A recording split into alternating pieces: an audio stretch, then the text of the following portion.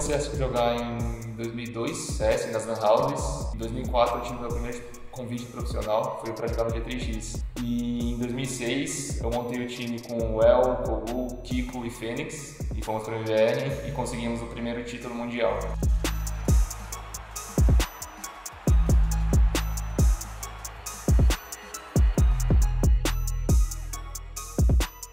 Então acho que esse foi um marco muito grande na minha carreira. Aí continuei jogando, em 2007 a gente ganhou outro Mundial, ganhamos diversos Pan-Americanos, Campeonatos Brasileiros, enfim. Até chegar a crise no CS, que foi por volta de 2009, e aí eu comecei a faculdade, me formei em publicidade e comecei a trabalhar na área.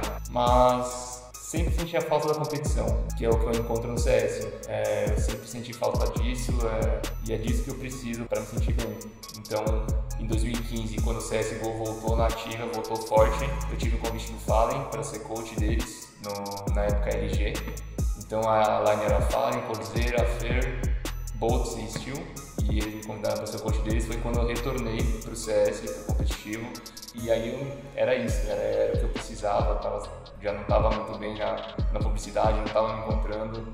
É, a competição é o que eu, que eu, preciso. O primeiro campeonato que eu, que eu pisei num palco junto com eles, já me arrepiei a adrenalina vai a mil e eu preciso disso para viver. E depois desse convite do Fábio para ser coach do time deles, eu fiquei seis meses por lá e, e, resolvi voltar a jogar. Desde então, passei por alguns times de sucesso, é, fomos campeões brasileiros, alguns times foram para fora, para o exterior, morei na Suécia, nos Estados Unidos, em Portugal, mas ainda faltava alguma coisa.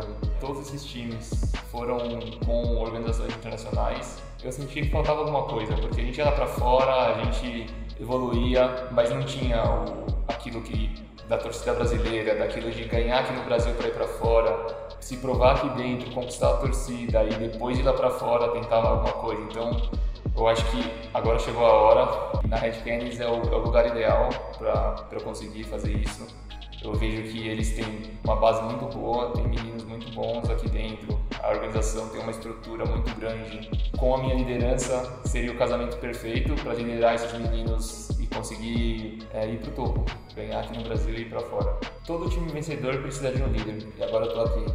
Meu nome é Renato Nakano, eu sou o novo capitão da equipe de CS da Red Canids Calunga.